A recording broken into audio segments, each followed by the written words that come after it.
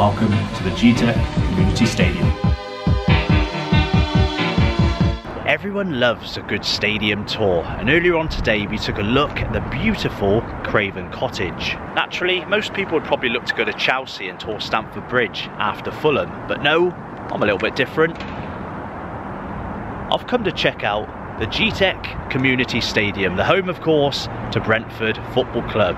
Now I've just been to Griffin Park, Brentford's old stadium, and what's left of it. The sad remains of Griffin Park. There's not a lot there, but today I'm very much keen to check out their new home and see exactly what Brentford have got to offer.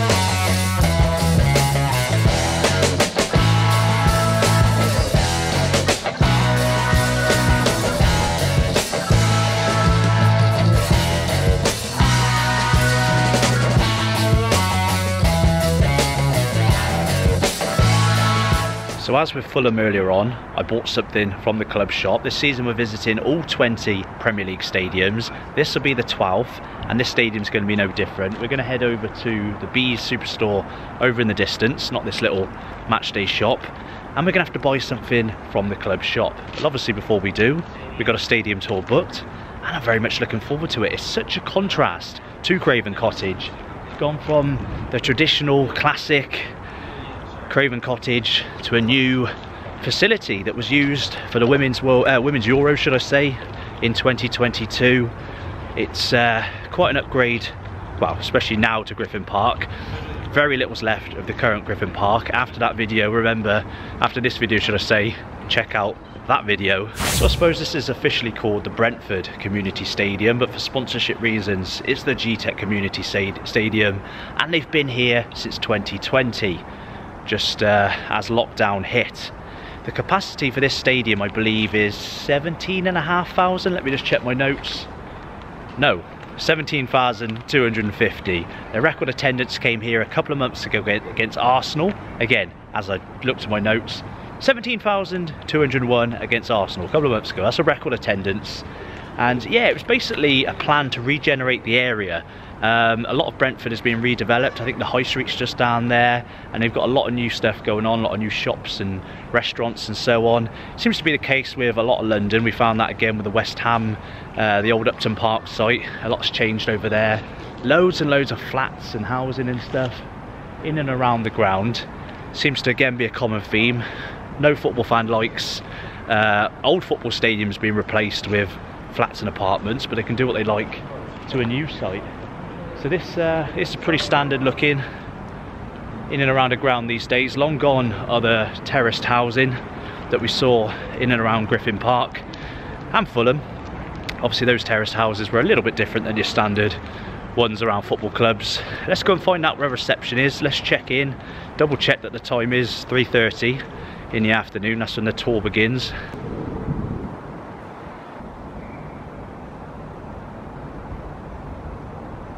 So we need to go in entrance C, that's where reception is I believe and that's where the tour will begin.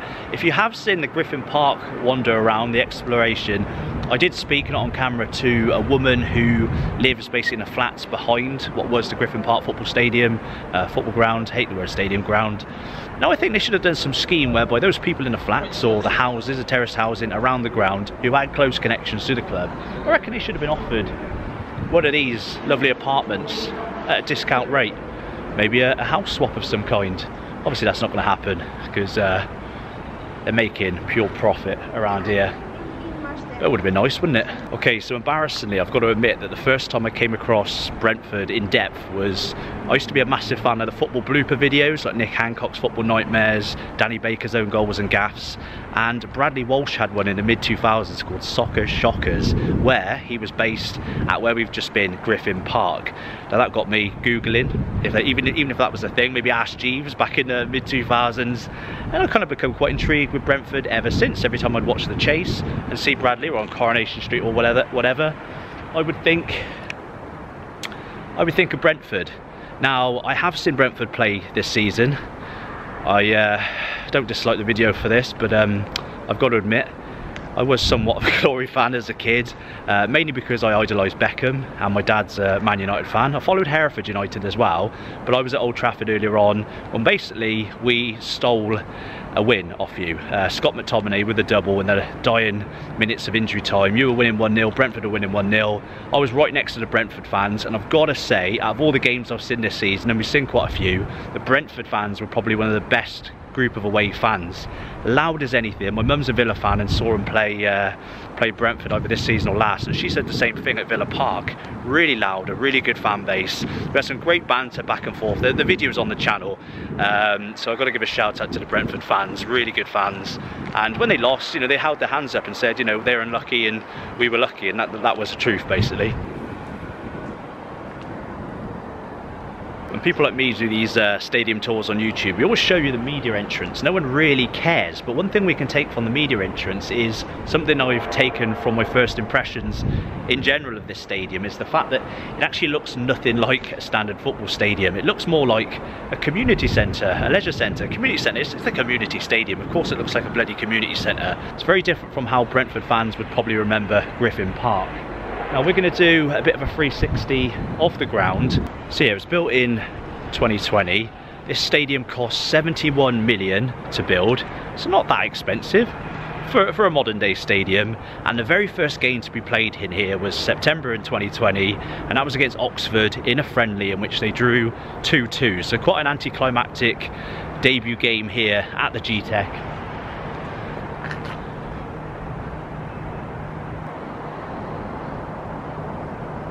So as with most football stadiums, new and old, they tend to be situated right on a railway line, right next to a railway track. Old Trafford's the same and it's a bit of a pain in the ass for Manchester United because they can't extend the Sir Bobby Charlton stand because that bloody train track. Birmingham City, we went there, they've got a train track along St Andrews and uh, Brentford's no different. There's going to be no need to extend this part of the stand or this stadium over the train track, I wouldn't have thought. Even though it is, again, what was it, 17,250, so it's not the biggest of stadiums, I think it's the third, is it the third smallest in the Premier League? I think now Bournemouth's bottom, because Luton extended, and then Luton, or is it second bottom? I don't know. I think Luton might even be up to 18,000. Let me know in the comments below. More branding, again, not your typical look of a football stadium.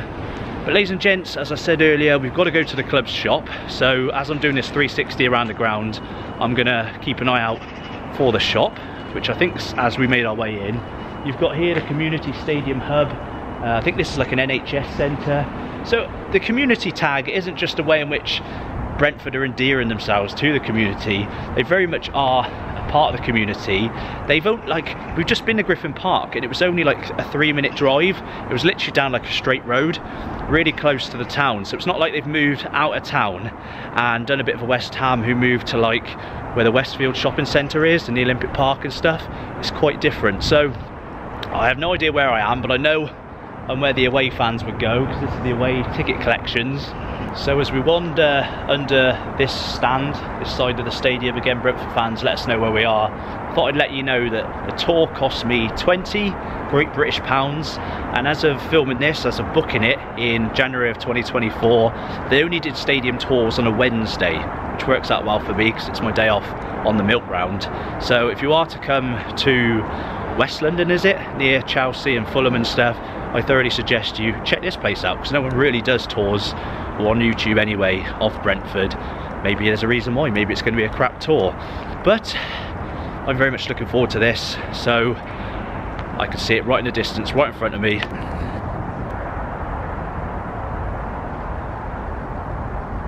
So I don't know if you could see that on the screen. Brentford is recognising those supporters who bought shares and bricks in the club when the club was struggling, almost ceased to exist. Like so many English football clubs. Me speaking personally as someone from Hereford. Hereford United went out of business in 2014, currently uh, reset at the Phoenix Club of Hereford FC. So I know what it's like to lose a, local football club. You've got all the names of those people that supported the club during hard times. I wonder if Bradley, Bradley Walsh's name's on there. I would have thought so. Seems like a good guy. Yeah, back to... Oh, hang on. Hang on. From day one of 2020. Right, more names. Everything is so organised. There's like nothing. It's very clean. I said it's quite, it's a little bit boring around the outside. I'll be honest with you. There's not a lot going on. Reason being is because it, again, it's so organised. A bin store. It's been labelled. Make sure you put your rubbish in those bins in there, guys.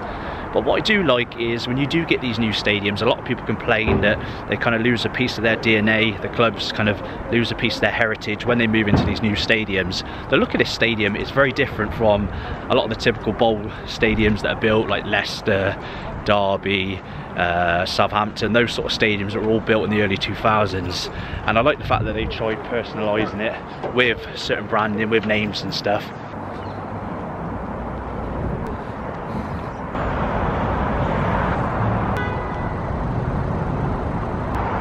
Love the way a lot of uh, grounds, especially new stadiums, they have like little fan areas, fan zones. Not Brentford. They've got a fan hive in fitting with them as the bees. Kind of like a tent and stuff. I'm guessing that's where, I don't know. I thought that's where people had a drink and stuff. I was going to say the shop doesn't look open, but yes it does. There's the entrance. Let's go and have a look.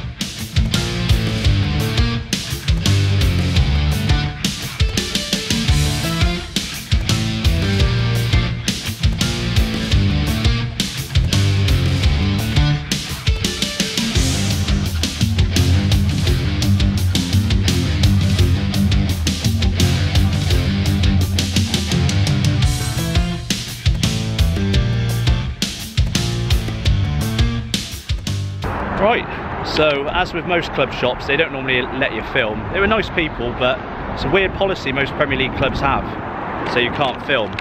But uh, we bought we bought the eagle, the male eagle, at the Crystal Palace store a couple of weeks ago. I think he was called Pete. Pete and Alice are their mascots. This is a bit more obvious. We've got Buzz, and his missus is called Buzzette. Buzz and Buzzette, they walk around the pitch apparently uh, prior to the game.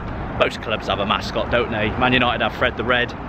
So that's our purchase for Brentford. At the end of the season, we're gonna get every single item we bought from all 20 Premier League stadiums, and we're gonna do a video on those items. So stay tuned for that one. Make sure you are subscribed, guys.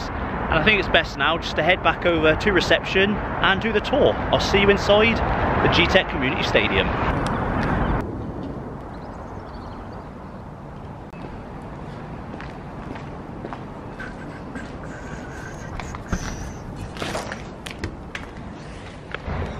Oj, nej.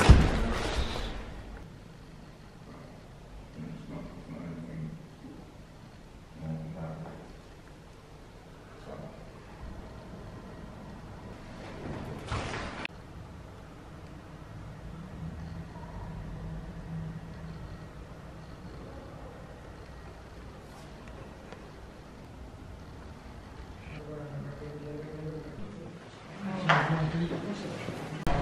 Love that.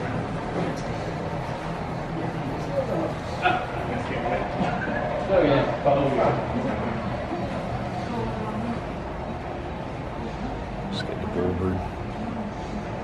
Welcome to the ballroom now, yeah.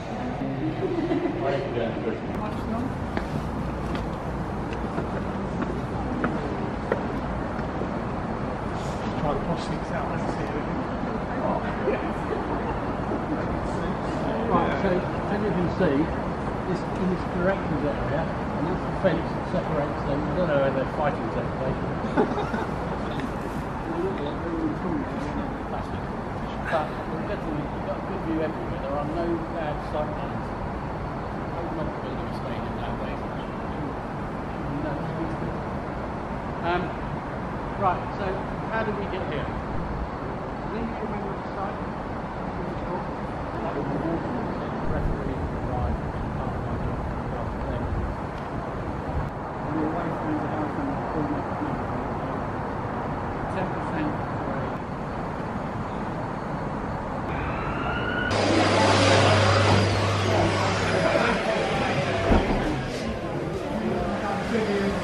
It's nice, yeah.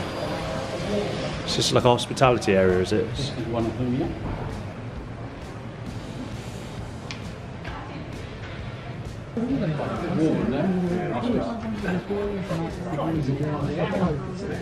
Um, now,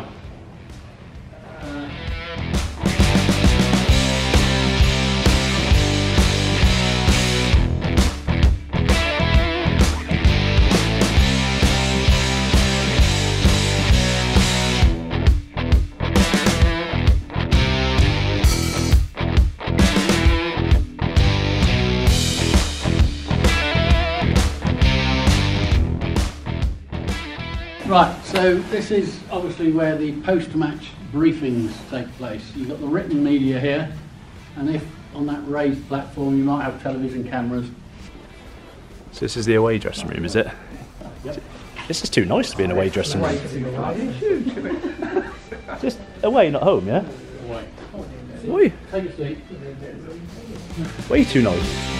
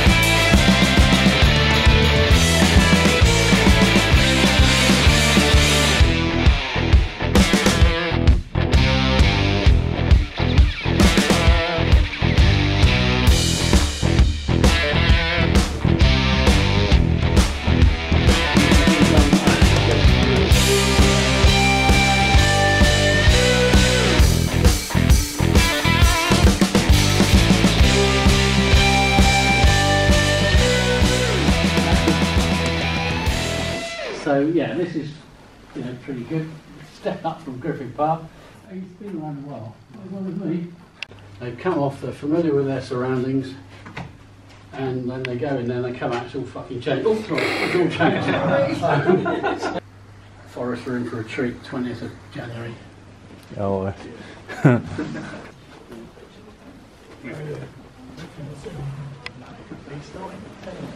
Oh, stop.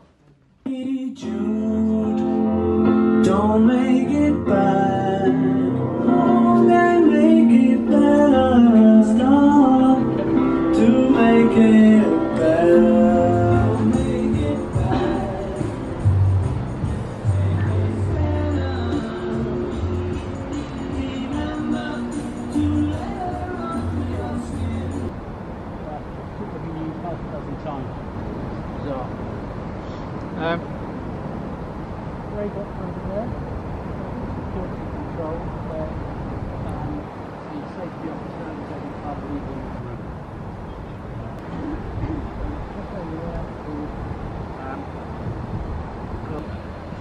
So it's, you know, it's, it's a foolish person who, does something you know, unnecessary here. I don't want to put this in update, like noise, crowd, whatever.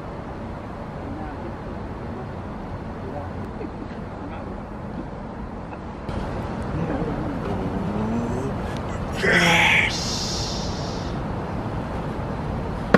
cheers, mate.